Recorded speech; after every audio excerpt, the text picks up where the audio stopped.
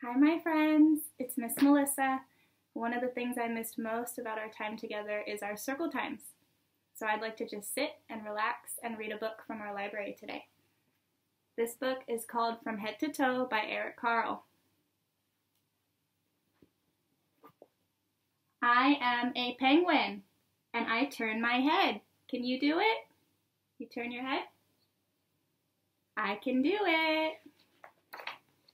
I am a giraffe and I bend my neck. Can you bend your neck? I can do it. I am a buffalo and I raise my shoulders. Can you do it?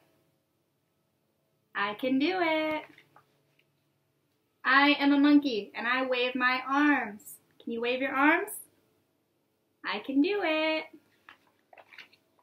I am a seal and I clap my hands. Can you do it? I can do it. I am a gorilla and I thump my chest. Can you do it? I can do it. I am a cat and I arch my back. Can you arch your back like a cat? I can do it. I am a crocodile and I wiggle my hips. It's wiggle, wiggle, wiggle. I can do it. I am a camel and I bend my knees. Can you do it? I can do it. I am a donkey and I kick my legs. Can you kick your legs? I can do it. I am an elephant and I stomp my feet. Can you do it? I can do it.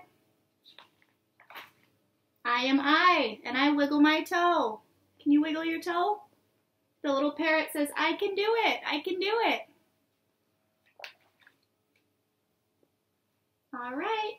Great job, friends. I'll see everyone later. Bye-bye.